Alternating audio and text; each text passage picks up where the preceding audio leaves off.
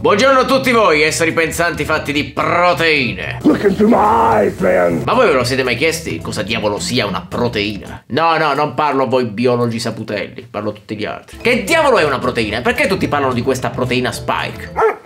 Zitto Spike, non ce l'ho con te! Scusate, ho preso un cane peluche in autostrada. Ma mi sa che ce lo riporto. Proteine, una parola magica pronunciata almeno 12 volte al giorno dai vegani e 70 volte al giorno da quelli che fanno palestra. Protein rocks. Protein. Protein. Onesto. Volevo parlarvi delle proteine con un riferimento particolare alla proteina spike della SARS-CoV-2, anche perché in mezzo c'è tutto il discorso di mutazioni, eccetera, eccetera, e a giudicare dai dibattiti televisivi o da mio cugino su Facebook c'è una discreta confusione in merito. Quindi spero di essere utile nel mio piccolo, quantomeno anche solo per trasmettervi un pochetto della complessità in gioco quando parliamo di questa roba. Vi racconto un po' le basi, ovviamente iper semplificate, di biologia molecolare, così possiamo allungare un po' il passo e parlare anche del discorso di mutazioni, biologia computazionale, eccetera, eccetera. Ma prima di partire lasciatemi presentare lo sponsor di oggi. Io! Sì! Ho scritto un libro. Sì, un altro. Scusate, giuro che non smetto di scrivere libri. Prima o poi. Non lo so qua. La versione del tardigrado improbabile, edito da De Agostini e con i disegni di Machiavello. Ho richiesto la sua partecipazione perché sono innamorato dei suoi disegni dall'epoca di questa pubblicità.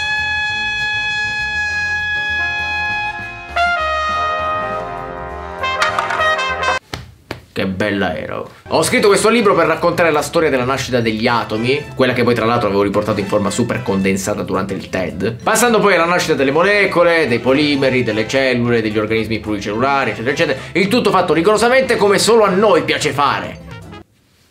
Esatto. L'ho scritto anche per un'altra ragione. Tutti i miei libri precedenti erano libri strettamente per adulti. Comunque avevano un linguaggio che direi che non è esattamente per tutti. Questo invece vuole essere per tutti tutti. Spero. Anche perché non ci ho messo parolacce. Non ce ne sono. Signore e signori, un libro senza parole. Incredibile. Non abituatevi troppo però. Così potete regalarlo anche al giovane vicino di casa che vi sputa nel cortile o alla zia quella che va sempre in chiesa e si scandalizza quando qualcuno dice per dincibacco. Ve lo potete regalare o lo potete regalare a chi vi pare senza che poi mi si venga a dire qualcuno pensi ai bambini. Detto questo non è un libro per bambini. Anche per... È un, è un libro per tutti. Un libro per ragazzi o per adulti, o nel caso in cui sia un libro per bambini, è un libro per bambini molto intelligenti.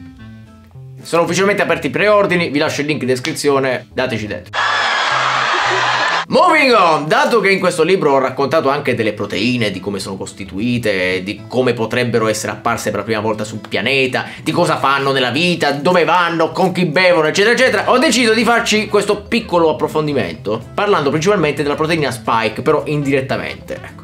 Per dire, quando vedete rappresentato un coronavirus, le proteine spike eh, sono rappresentate da questi chiodini che circondano il virus, no? Ed effettivamente quando si guardano al microscopio sembrano proprio dei chiodini che circondano la pallozza. Delle spike però. Come ormai saprete, ormai lo sanno pure gli acari, questa proteina è la chiave d'ingresso del virus nelle nostre cellule. Questa spike interagisce con un recettore umano che si chiama ACE2 e la cellula dice tipo prego signore si accomodi. Voglio fare l'usciere dà amore. Se AC2 è la serratura della porta, la Spike è la chiave. E fin qua, ok, tutto a posto, ne hanno parlato un sacco, però ho ancora l'impressione che in moltissimi non abbiano capito bene la complessità in gioco e soprattutto di quanto sia incredibile e casuale il gioco dell'evoluzione che ha portato ad avere questo meccanismo qui. Quindi proviamo a raccontarlo, qui in questo luogo, rigorosamente male tenendo sempre presente che il SARS-CoV-2 è per l'appunto un virus, quindi tecnicamente non è manco classificato come essere vivente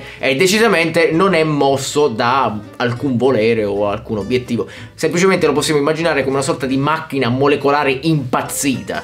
È considerato però un parassita obbligato perché per riprodursi, per fare copie di sé, ha bisogno di sfruttare un altro essere vivente.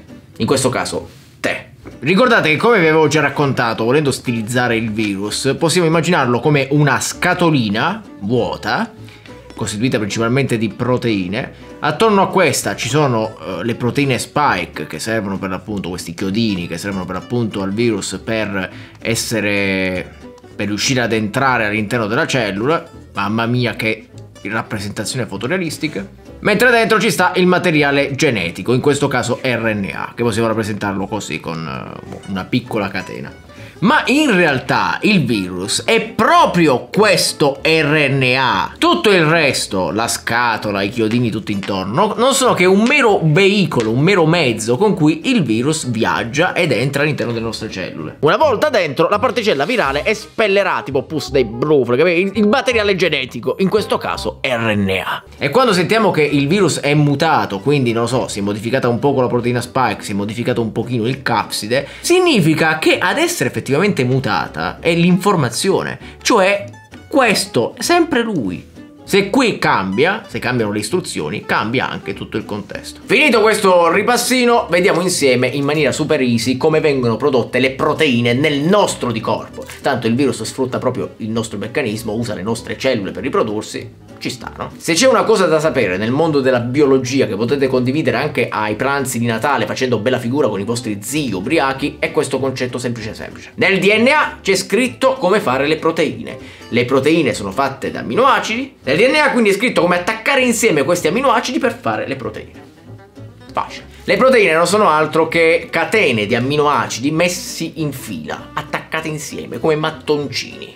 È un po' come fare un lungo spaghetto ma di Lego, che però poi si accartoccia su se stesso fino a formare, a diventare un gomitolo, uno spaghetto di Lego raggomitolato. Ed è proprio così che bisogna immaginare le vostre proteine, non come uno spaghetto di Lego ovviamente, ma come delle strutture tridimensionali tutte accartocciate, bellissime, risultato di anni e anni di raffinata evoluzione e in ogni singola cellula del mio corpo c'è il mio DNA. A prescindere da quale sia la cellula, una cellula dell'occhio, della prostata o del culo, c'è sempre il mio DNA. E lì ci sono riportate tutte le informazioni per fare me.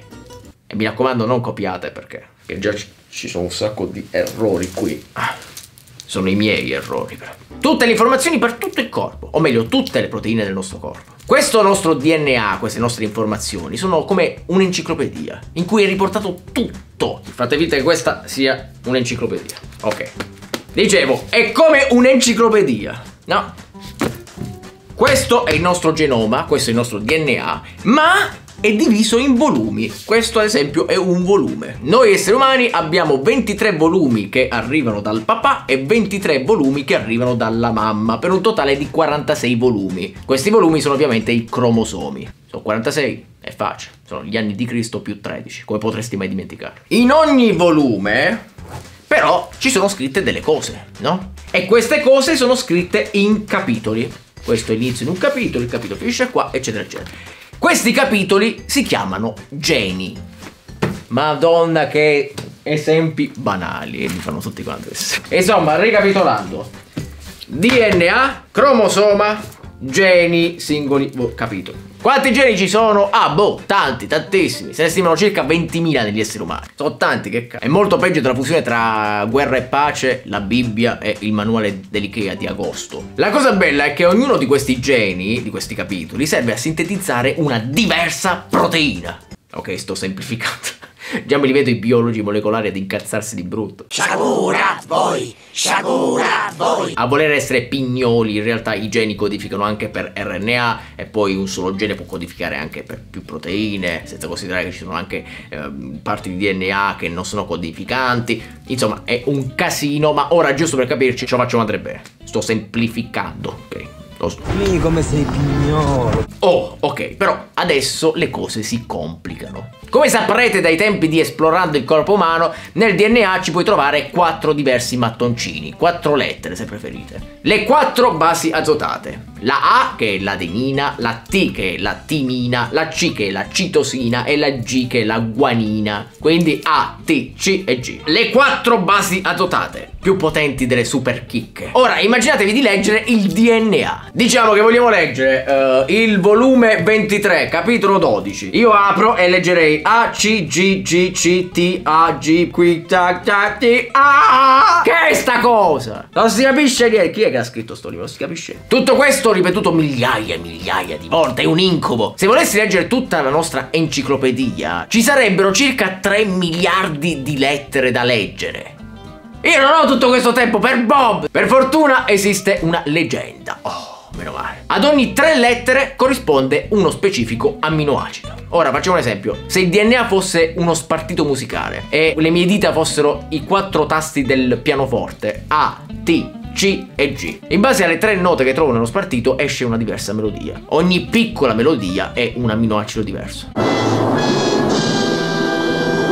Papparapappa ATC CTA sono due amminoacidi diversi. Papparapappa GGG CCC, anche questi erano diversi, pappara e così. Facile, no? Ci state capendo un cazzo. Scusate, sono una persona caotica. Giuro che ho scritto meglio. Ovviamente, però, dici tu, il DNA è una catena immensa di ste lettere. Come fai tu a capire in che punto iniziare a leggere? È che lo prendi a caso. Ma ti pare che lo prendi a casaccio? Ma che sei scemo? Infatti ci sono delle triplette di queste lettere che non servono a codificare un aminoacido, ma sono dei comandi. Ci sono le triplette, ad esempio, che dicono ok, il capitolo inizia da qui, inizia a leggere da qui, e quelle che dicono il capitolo è finito, non leggere più, mi raccomando. Almeno così sai dove inizia la scrittura di una proteina e dove finisce e non ti perdi, no? Ovviamente tutto questo è scritto nel DNA, ma poi a fare il lavoro sporco, cioè leggere le informazioni, prendere un amminoacido alla volta, appiccicarli insieme per costruire sta cacchio di proteina bella e funzionante, è un enzima. Un enzima che si chiama ribosoma. È una figata come funziona il ribosoma, sembra una catena di montaggio per dire. Però oggi andiamo veloce e devo semplificare il tutto perché non è questo il punto. Quindi mettiamo che sul DNA ci sta scritto l'esempio TTT. L'informazione arriva al ribosoma, legge che sul DNA c'è scritto TTT e sa che quell'amminoacido corrisponde alla fenilalanina e la prende. Dopodiché rimane là e aspetta. Poi sul DNA c'era scritto CAA e subito il ribosoma prenderebbe una glutamina e l'attaccherebbe alla fenilalanina di prima. E così via. Qual è il prossimo? E intanto la catena si allunga. E man mano che questa catena eh, cresce, si allunga ed esce dal ribosoma, inizia già ad attorcigliarsi tutta su se stessa, a formare un bel gomitolo tutto complicato. A un certo punto, dopo essere uscita questa lunghissima catena di amminoacidi, il ribosoma legge che sul DNA c'è scritto TAA oppure TAG oppure TGA, che sono le tre combinazioni di lettere che significano stop, basta, è finito. E a quel punto che fa lui? Libera la catena di, di amminoacidi e top hai ottenuto una bella proteina, tutta bella funzionante. Però qui la cosa assurda, tutto sto pippozzo che vi ho fatto, era proprio per questo. Uno si potrebbe a questo punto immaginare che eh, una proteina non sia altro che una catena lineare di aminoacidi, no? Dritta dritta, come uno spaghetto secco. E invece no, per l'appunto si accartoccia. Non solo, ogni proteina si accartoccia sempre esattamente allo stesso modo. Oh!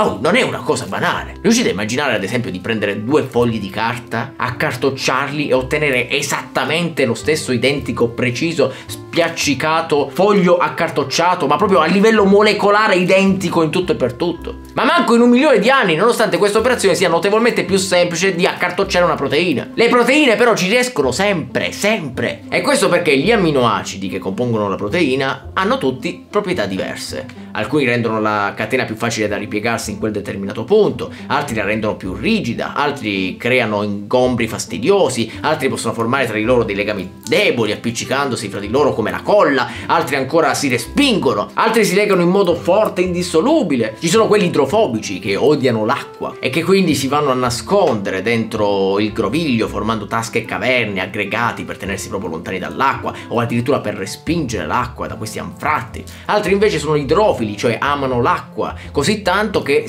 ci si gettano dentro. Cioè sono proprio affacciati, si catapultano, si tuffano, mettendosi all'esterno di tutto questo groviglio perché proprio gli piace l'acqua. Alcune poi messe in successione formano delle strutture particolarmente complesse come quelle chiamate alfa eliche o beta foglietto o dei ripiegamenti completamente casuali o apparentemente casuali. Insomma, la cosa incredibile è che nonostante queste proteine siano immense, lunghissime, grazie a queste cose, a queste interazioni, si ripiegano sempre tutte nello stesso identico modo. Questa roba prende il nome di foglio folding. E meno male che funziona così perché anche eh, un singolo amminoacido fuori posto o messo nella posizione sbagliata farebbe cambiare tutto completamente. E la proteina poi non funzionerebbe. Non c'è spazio per errori. E tutto questo per dire che il folding aminoacidico di una proteina è un vero casino. L'emoglobina, per esempio, si accartoccia graficamente così, sempre. Che sembra una cosa fatta a cazzo di cane, ma in realtà è una struttura ingegneristica super complicata e perfetta. Ovviamente questo è vero se rimaniamo in acqua.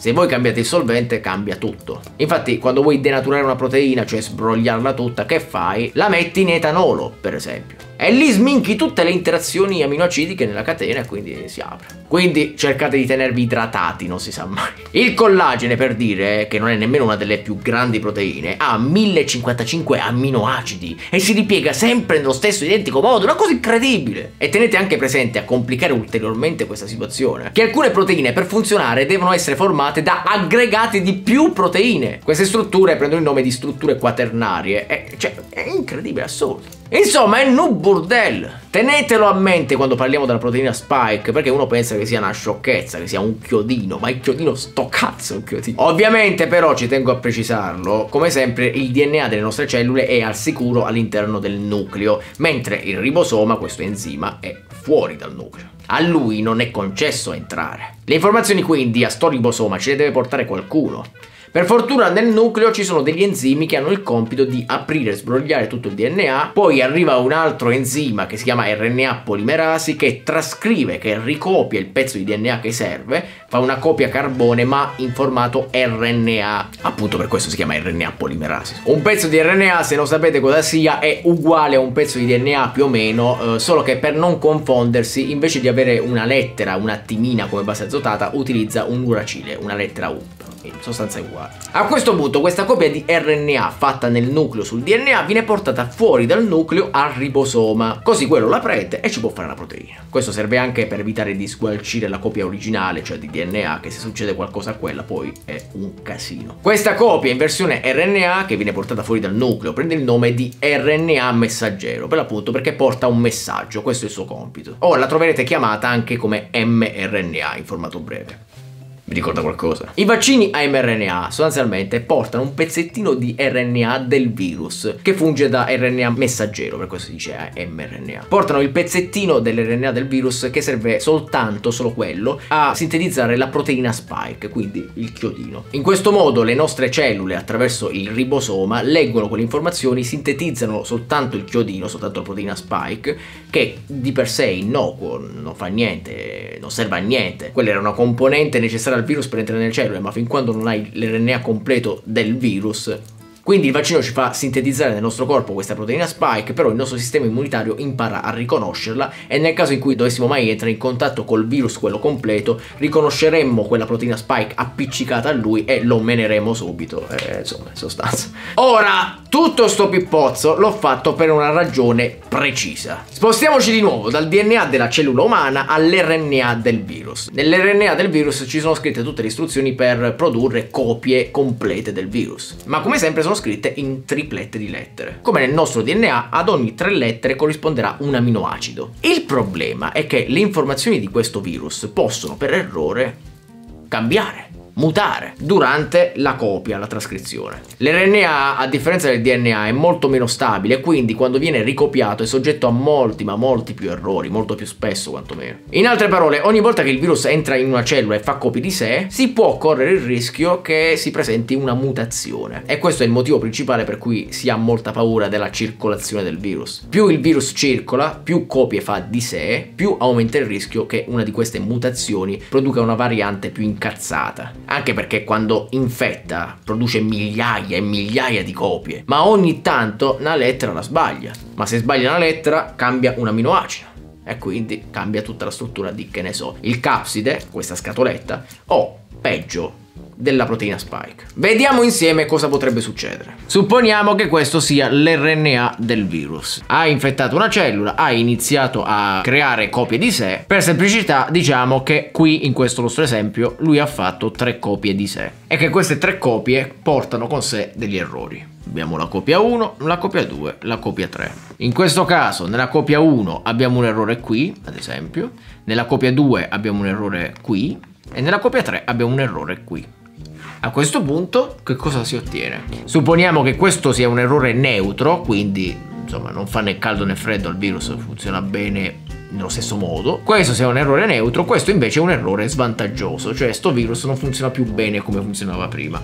Quindi questo qua è destinato a riprodursi molto più lentamente degli altri, ad esempio, e quindi a un certo punto sparirà. Ognuno di questi si riproduce, supponiamo, altre due volte, producendo altri due errori. Quindi a questo punto cosa abbiamo? Abbiamo 4 RNA di virus, in questo c'è ancora l'errore di prima, però c'è un nuovo errore, ad esempio qui. Qui c'è l'errore di prima e un nuovo errore casomai qui, qui c'è l'errore di prima e un altro errore qui, e qui sempre l'errore di prima più un altro errore questa volta qui. A questo punto, ad esempio, supponiamo che questa qua non funzioni più particolarmente bene, quindi questa sparisce.